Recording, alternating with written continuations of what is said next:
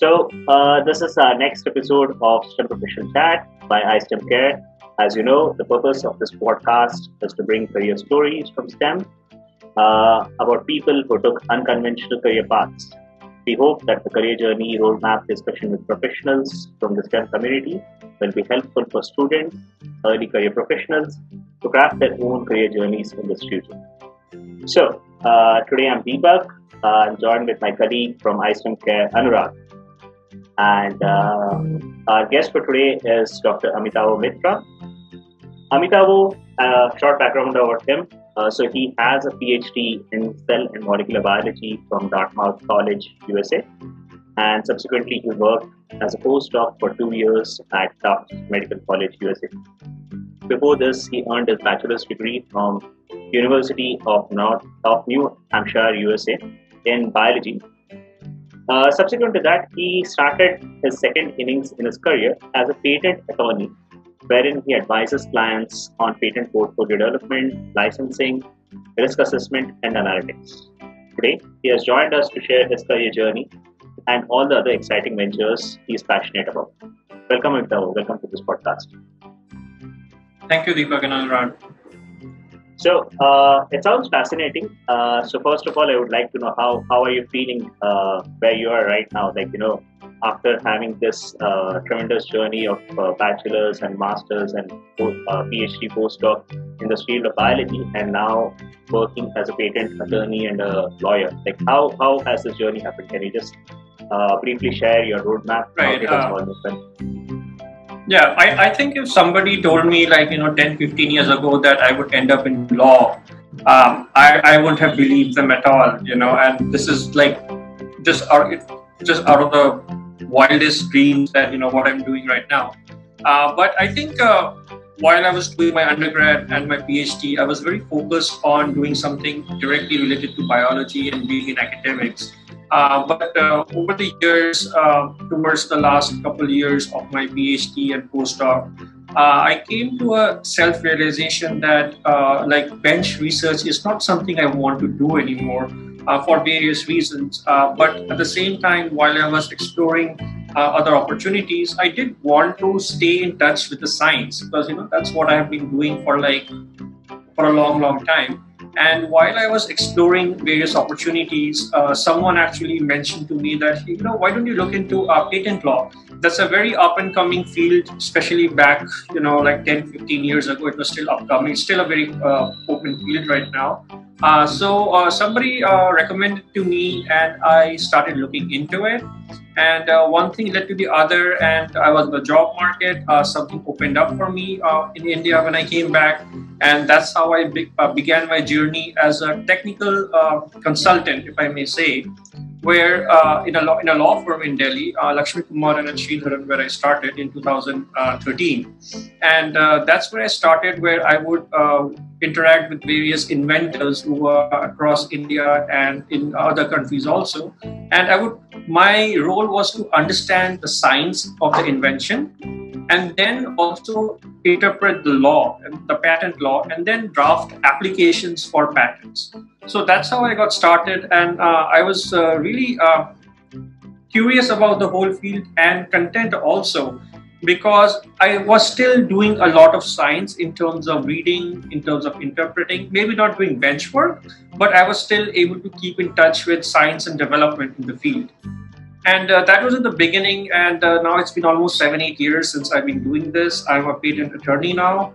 Uh, like I did my law, and uh, I gave the patent agent exam and everything. And now uh, I do more legal stuff, I would say, than like basic science. But at the same time, uh, I still, at, whenever I get a chance, I work with inventors to you know really learn about their inventions, what they have done, and then advise them on how they can uh, protect their invention and monetize it. So that's in a nutshell how uh, progression happened from science to you know a more a more uh, non-traditional career, so as to speak of in uh, patent law.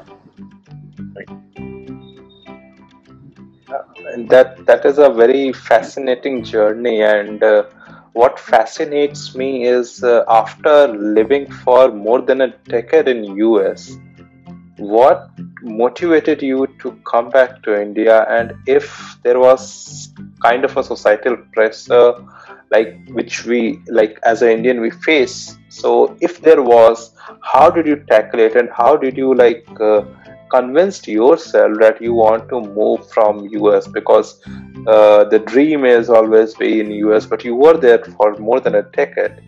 So what motivated you for that? Right. So, see, uh, to be very frank and to be honest, uh, I did look for opportunities in the US, uh, but I would say for various, uh, I would say political reasons at that time, you know, after 2000, in, in, the early part of 2010 and 12, it was very difficult for a lot of people uh, without who don't have a green card or anything to, you know, uh, get a job and I did not want to continue or keep doing a postdoctoral fellowship. Now, I'm sure everybody, at least in the US, would know that uh, doing a postdoc is a very easy and a sure shot way of continuing to live in US.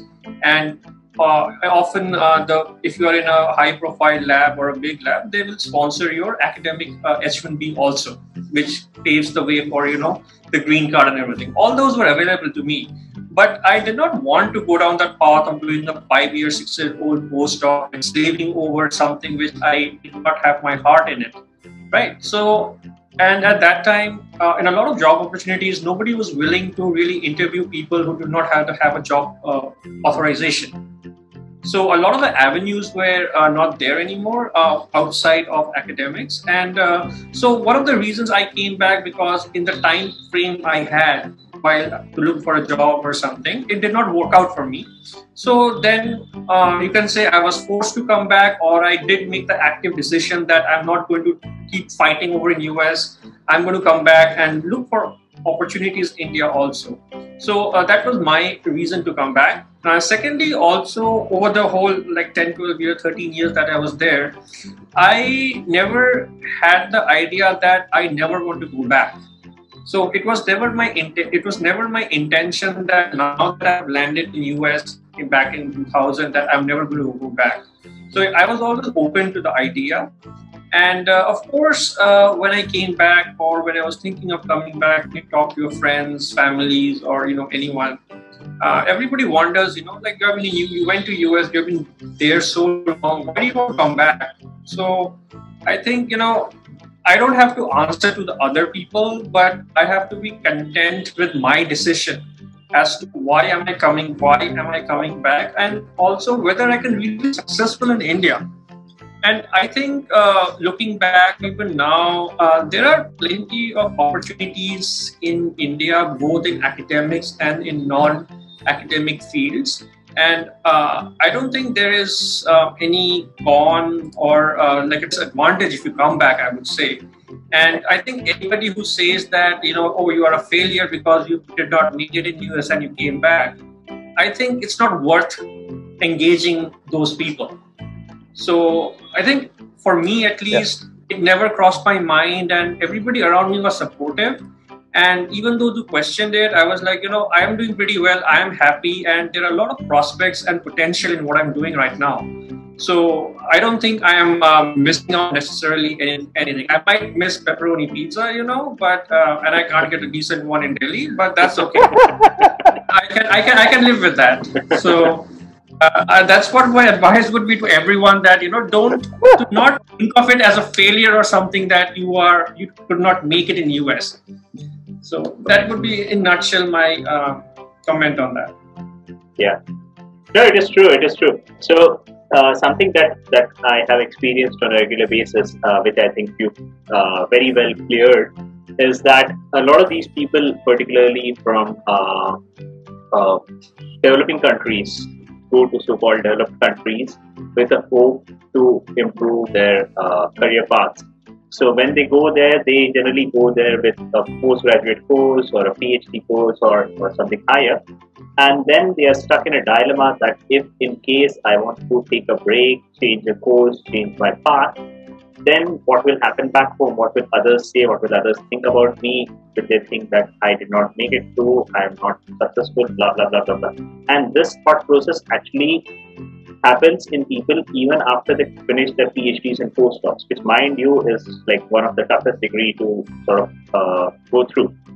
Uh, So even after achieving so much in life, people uh, have this thought process that maybe I've not done enough. Uh, so this this thing that you uh, said that you must not really pay attention to those people who produce negativity is actually a very valid thing, and I'm pretty sure that our listeners will greatly get benefited from that. Uh, having said so, uh, the other thing that I wanted to ask you is that since you've got a very strong background in biology and you work uh, for your PhD, you did your postdoc, so you had like extensive uh, bench work experience and uh, working in the laboratory in the rigid environment, uh, in the rigorous time schedule and everything. Uh, now that you are working as a patent lawyer for a decent period of time and you've sort of like you know very clearly changed your career pattern, do you miss it? like going to the lab and the schedule that you had in the past? Do you miss it anytime? Uh, see, uh, I mean, I, I don't necessarily miss the doing the science, uh, but being in the real world in terms of you know having a job and everything, I would say that a PhD is a very easy and a carefree life. All you have to do is you know go to the lab, do experiments, and you know that's it. You take some classes and you have no other responsibilities uh, time you have a lot of time in hand. Time is not a luxury.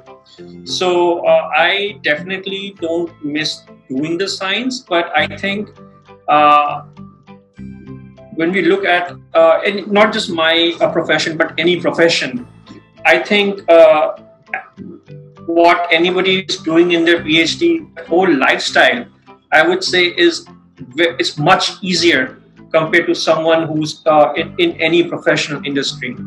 So uh, yes, it you know like when we are doing a PhD, it looks like the hardest thing in the world. Things don't work. There is frustration, and we are working in you know, 10 hours, 12 hours in the lab. That and it appears that oh, if I had a job, it would be so easy. You know, I would have lots of money. I would work. You know, I would have a good lifestyle. But it's I would say um, in hindsight, uh, like the academics is a very easy thing you only have to do one thing, which is the study and do your research. That's all. So I do miss that life, which where I didn't have to worry about you know a million things or deadlines or because in in, in my job or in the, at least in the legal industry, like time is a luxury. Right. So uh, when in a PhD, time is not really a concern. You know, you can spend. It is like as long time as it takes to you know do an experiment or do something so in, a, in, in, in, a, in the legal industry, at least I would say that, you know, we still have to deliver the same results, but uh, we don't have the luxury of time. So there's more, there's added pressure on you. And of course, uh, you know, in a PhD, when you do an experiment, whatever you're doing, you can afford to fail, right? Multiple times. But uh, it's a lot less forgiving when you enter a professional field. So, you know, I would say anybody doing a PhD, I would say, like, you know, enjoy it. It's not going to last forever, the lifestyle. I, I understand the difference between academia and uh, industrial position or academia and career life, and there are always going to be like uh, this this life specific challenges or ES specific challenges that will keep coming. And when you're in a particular sector, you'll always find that that particular sector is the most difficult one. And when you jump to a different sector, you'll find that the previous one was actually easy, and the new one is actually much more difficult.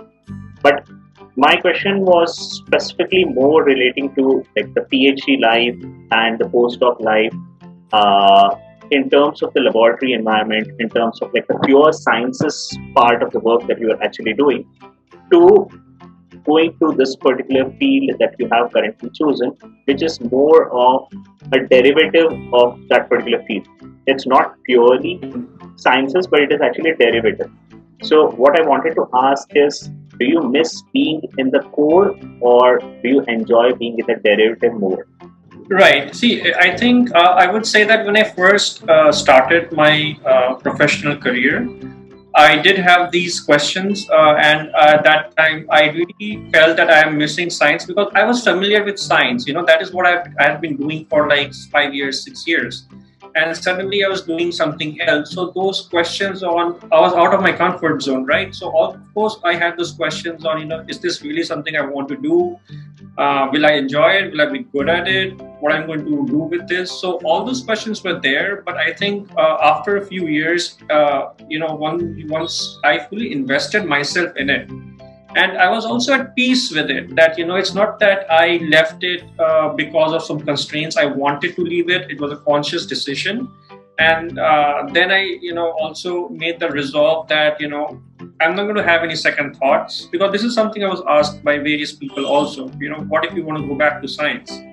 And i was like you know i don't know about law. I don't i can't tell you right now whether i will not go back or not but I have made a decision to come out of it, and I'm going to give it a, my best shot to be good and be happy and learn something new. So even now, of course, I you know it's been so long now that I have even forgotten what I did in the lab on a regular basis. Uh, but I think um, I don't have those doubts or uh, questions in my mind anymore that you know that this was better, that was better, or what I wanted to do yes, initially those questions will always be there for anyone who's switching fields. Uh, but I think in I, I wouldn't say those would be self doubts, but it would be more of a fear of the unknown. you know, PhD, you have been doing similar thing for so long that you don't really know what else is out there or how you would fare in it. And I think that slight fear is there but I, I wouldn't say it would be, you would question your decision or it's not a question of whether I love doing science and lab work and now I'm doing something else. I, I hope that makes some sense. It, it, it, it, makes much more sense. It makes much more sense. Uh, uh, I mean, like, because our viewers are always, uh, like, you know, under this dilemma as to if I make this transition, would I actually like what I'm doing in the future or would I miss the past. So that is why I it was essential for us to understand from uh, people like you who had uh, a big change in the career to sort of see whether after a big transition do you still miss the older part or are you actually very satisfied with the newer part. So that's why it was essential for us. See, I, I would give another example. See, it's like, you know, when somebody has done a master's or a bachelor in India and then they decide to do a PhD in US or anywhere outside India, it's a big jump, it's a big decision, right? Everything is going to be different. So even, you know, when I came over to US, I had a lot of the self-doubt questions, you know, will I be successful? Because everything will change. Will I like it or not? So a similar situation happens, you know, when you're transitioning from a PhD also and all those questions will come. And uh, one thing uh, I would add here that the lifestyle we have as a researcher during a PhD or even a postdoc, even if we continue in academic uh, or in a research industry, it is going to completely change we still may be doing research, but I don't think uh, in terms of lifestyle or responsibilities or some anything that we can really compare what we were doing during a PhD and what we may do if someone gets a faculty position or if somebody is doing uh, industrial research. So uh, I don't think there is much comfort there uh, to say that uh, because if you continue in academics or you continue as a uh, industrial research, uh, it's going to be a lot predictable, just like in your PhD lifestyle. Yeah. So yeah, first of all, I would I would relate. Yeah, uh, uh, thanks for the answer, and I would relate with uh, what you said about uh, when you are doing a PhD. It feels like everything is this one. If I had a job, because I am in that stage i am in the final year of phd so i do feel like if the phd is not there i would be more relaxed and all these things but i, I understand what you are saying. Maybe with the time i will come to know uh, come to experience the same feeling. Uh, i was just going through your linkedin profile and in your profile it is written that you have done a bachelor's in law also and which is very and and it was with uh, like you were working as well as pursuing a degree. So, wanted to know for the uh, um, for our listener because if someone has to make a switch and do a degree in law, so it, it, it is going to be a part time or a full time, or do you have to also write some competitive exam, or you can just directly enroll in the uh, law degree? What was uh, the case with you? Right. So, see, in my case, in India at least, I can say that uh, if you want to, if somebody wants to be in the patent law field, to enter it, you don't have to have a law degree. You don't have to be a patent agent. and you are not hired basis your qualifications in law. But if somebody wants to be in this field for a long, long time and make something out of it, it's absolutely critical to uh, get a law degree under your belt because you learn about the law also quite a bit because that's what you're going to be doing. And also, of course, you would take the patent agent exam, which allows you to, you know, uh, represent clients in front of the patent office. Uh, having said that, um, in India, uh, so I went to Delhi University, the Faculty of Law, and they had a and there's an entrance exam for that, for which I sat and I thankfully and luckily cleared it. And it was a full time uh, program, and um, at that time, uh, the uh, Faculty of Law still had a evening session, sort of where you know you would have classes from like six to nine every day without any breaks. So a lot of the, so almost 70% of my class were actually working professionals in various fields. And it was a full-time program and almost everyone, like I said, you know, had a job and uh, you do, the job and then you would uh, come and attend the classes in the evening. And it's uh, something very similar in the US also. I, ha- I have some friends who are now, now also patent attorneys US. Also uh, LSATs uh, to uh, you know it's, it's like the GRE thing for law, and then while they are working, uh, they enroll in a law school for evening, and that's how they uh, do the degree. So it's it's it's tough. Uh, it's a tough three years because you are working full time and you're also studying full time. so it's it's tough for three years, but that's what I think most people will have to go through at some point or the other. So yeah, thanks for the answer. See, I would say even even I would say even after PhD, you can decide to law and then enter uh, the field, right? But you're going to be like what 32, 33 by the time you finish your PhD in US, and then spend another three years doing law. So I don't think most people will have that luxury of you know like staying another two three years at home while just studying and not having a job so i think that's a limitation like most people have that after a phd you know they get a job and then they do law on the side. Just, just out of personal curiosity, since you already have a degree in law, do you also visit the court and fight cases, or? Uh, yes, I, I, I do go to courts. Uh, there, I, I am in, in my current role. I am involved in uh, litigation cases, uh, patent litigation cases. So I do go to court uh, quite regularly, at least when courts were open, like a year back. Uh, but I don't argue necessarily in the court because those the arguing role is uh, is a very specialized role and it is limited to certain people who do it. But I do assist in formulation of arguments. Uh, but when I have cases in front of the patent office, there I am representing clients and arguing the case in hearings. So in different forums, different people can argue. So even though I'm qualified, and eligible to argue in front of a judge, uh, but that's not my role is as of now. Okay, nice, nice, nice. I mean, like this is again fascinating because I still am trying to get over the fact that this guy has a PhD and is now representing uh, clients in a court. So I'm still getting over that particular fact. So, anyways, I, I had to ask that. Okay, so coming back to the main question that I wanted to actually know is. Uh, since this is like a path-breaking career of like you know uh, the, the patent industry itself is like you know uh, is uh, is I wouldn't say a very new part, but it's it's particularly for developing country like India. It's it's a new component wherein a biologist is actually thinking of going into this. Uh, so if in case people have to think about this, you being a patent lawyer now, how would you like best sell this particular field? Like if you have to sort of give like a few pros and cons about this particular uh, field. Uh, how would you best uh, explain this to sort of an aspiring uh, candidate? Uh, right. So I, I, would suggest that you know anybody who's uh, looking out from outside into being a patent attorney. First of all, I would say that this is a very hot field right now. So as to speak of in India, there's a lot of opportunities in the field, and the domain as a whole, there is sky is the limit. So it's not that you know you will work for a few years and you will hit a saturation level in terms of your expertise and your career growth.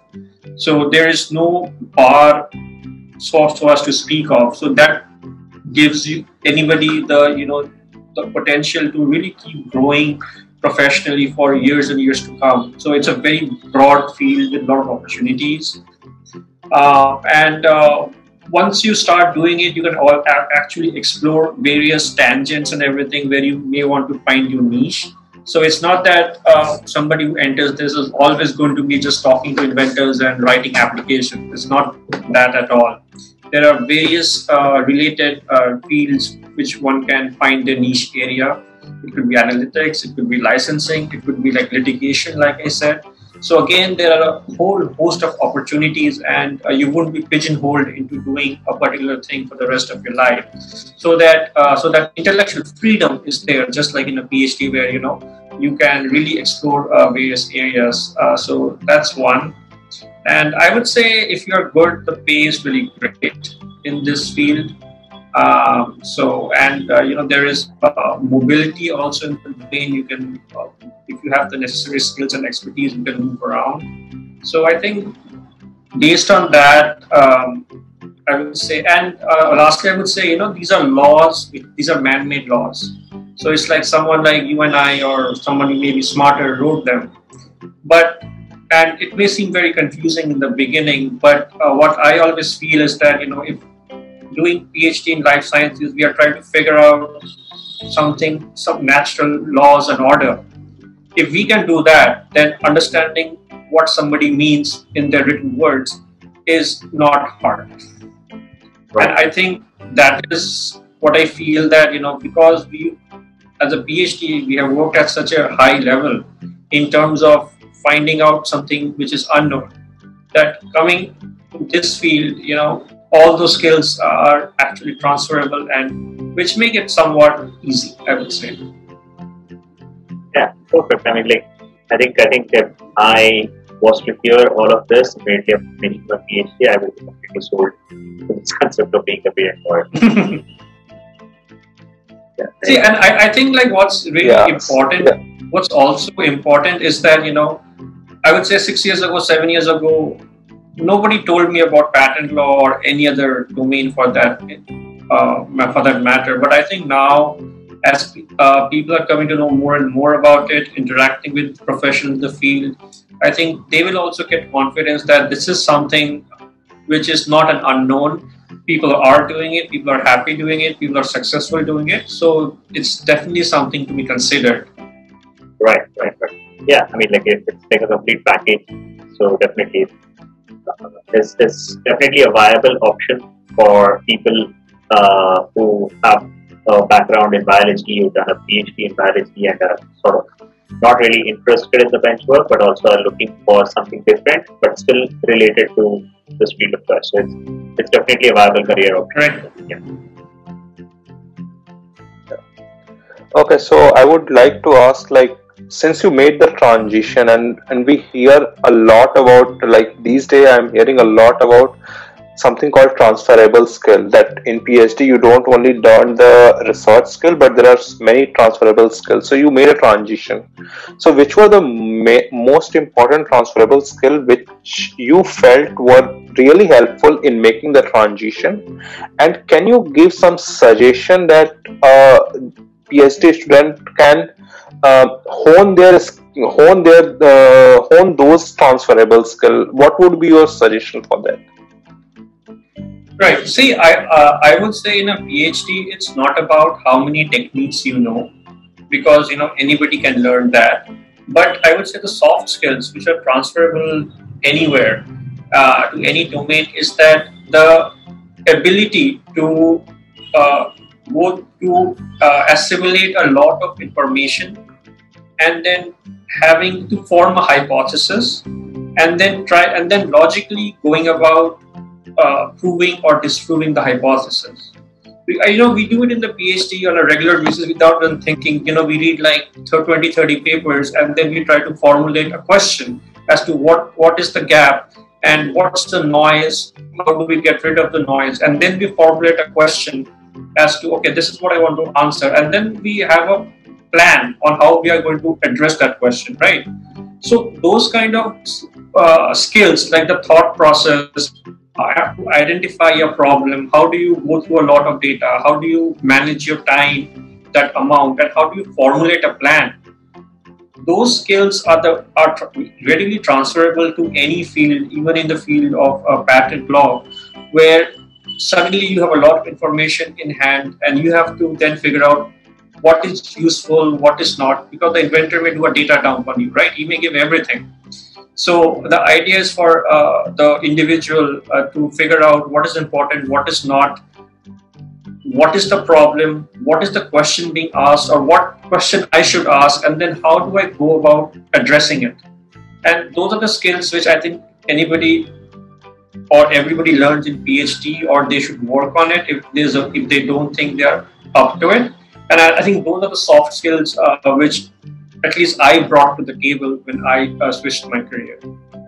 So, you know, if there's a lot of data or anything, it didn't overwhelm me because I was doing that for like six years, anyways, during my PhD, where I would have a lot of information. You read 20 different papers, 30 papers. Uh, they may be conflicting at times, and then you try to figure out, you know, what's going on, uh, what needs to be addressed, and then have uh, you know fact-based um, sequence of steps on how do you address it. It's not like you know you do an experiment in the dark and hope it hits something. You always have a you know a game plan, and I think the ability to do those exercises really helps in. So those are the skills I would say uh, a person should develop, and it will be really useful in any domain, even if that person continues in sciences. Right, right, right. I think I think it's rightly put. Uh, if uh, these are the skills that you can, if you can hone these skills during your PhD or during your masters, then uh, it can be really applied anywhere, whether you're continuing in biology or whether you're continuing in any other, uh, you know, path-deviating career. So definitely apply, and it has worked very well for you. So let definitely work for others. Wonderful. Uh, I think this has been a very productive session. Uh, learned a lot about uh, what you've done and how it helped you, and I'm pretty sure that it will help uh, our viewers as well. Uh, any any final take? Any final word of advice? Uh, maybe also if you can give some guidance on maybe some internship opportunities or some learning resources. I know that you've got a background from the US and India. So maybe if someone wants to pursue this field of choice, uh, uh, perhaps they can read in about this particular thing somewhere, or maybe take up internship in any government website. So if you can direct on that, uh, it'll be helpful. Yeah, I think when we talk about patent law, whether in India or in US, there's a lot of information on the web available. You know, if you put in patent law, like there's a wealth of information out there. Most of it is pretty accurate. So, and also if somebody looking for, you know, some kind of mentoring or internship, uh, one can, and, you know, especially with LinkedIn, you can find out, you know, who's doing what and where. And uh, I think if you reach out to people over LinkedIn, uh, more often than not, they reply, at least in, you know, positive or negative, whatever the case may be. And I would say the best way is to uh, talk to people in the field and try to get an idea of, you know, what's a general consensus because every individual is going to have a different experience. Some may like it, some may not like it. But I think with the advent of technology and accessibility to people over social media, I think uh, uh, current students or somebody who's doing a postdoc can make a very well-informed decision on whether uh, this is something for them or not. And of course, unless you do it, you know, you would never know. But I think uh, with the information and access to resources and people out there, I think anybody can make a pretty good informed decision on whether this is something they want to do or not. So I think all the um, resources are there in terms of information in terms of static information and also people in the field. I think uh, you know you go to any linkedin you look for patent agents or anything i'm sure you will find people in your network you know who are in a particular domain of interest. And uh, these days it's very easy to you know start a conversation with them and kind of get to know their history and their motivation and then you know if you find something which is common, then you can decide whether you should do it or not. Right, right, right, right. I think it's rightly put because uh, even if you had given some government resources or any other uh, websites, I think that actually gives much lesser information than actually interacting with people who are in the field. So uh, it would it will definitely give uh, the potential aspirants uh, much more information to speak with experts in that particular field uh, through LinkedIn, through uh, Twitter, or any other social media channel, and then I think they can make an informed decision of whether or not to use this uh, having said that, uh, like if, if you're open to it, uh, where where can potential like you know listeners reach out to you if in case uh, they want to talk to you, they want to get guidance from you. Like, which is the best resource where um, most active?